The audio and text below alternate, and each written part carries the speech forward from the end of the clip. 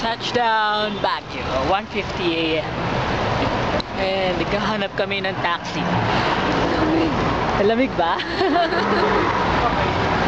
And sila Mar kahabol. Wow. Ang lamig. Kamusta na nga? Malamig.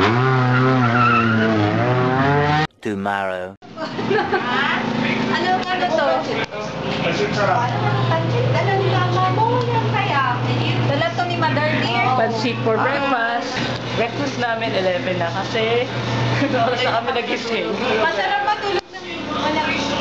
Later. 2017? Pasensya na. Ngayon lang ako sinipag mag-edit eh. Yung tipong midnight cravings ng mga kaibigan mo. Yung pala sa night market mapupunta.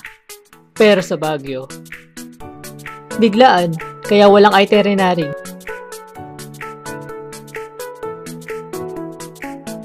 Salamat pala kay Hershey and sa family niya for accommodation. Laking tipid.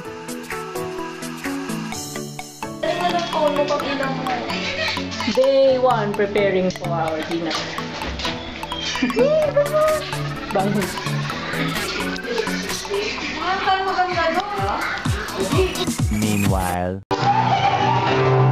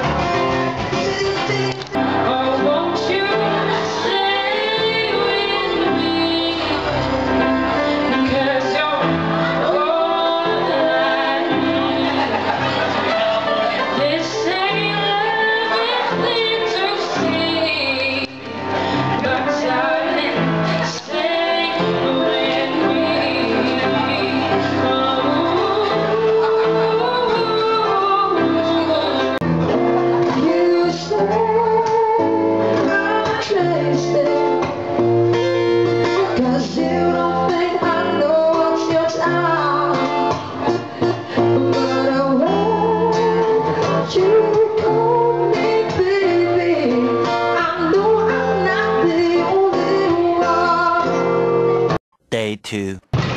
And yes, Flower Festival or Panagbenga Festival. Sa dami ng tao, pati taas ng waiting shed meron. Siyempre, nandun ako. Kasi na ako sa pasaway.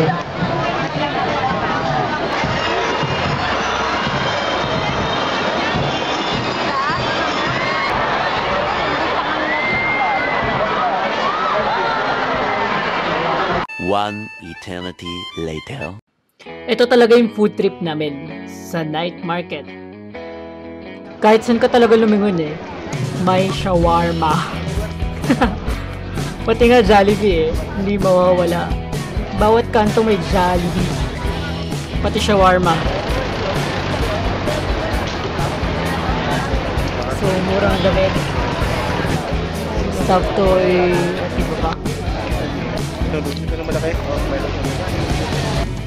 Sana pinili ko na yung bag na yan. Ah. Nagkadalawa isip pa ako nun eh. Pero mura ko pa. At malaki pa. Travel back. So that's it for this short vlog.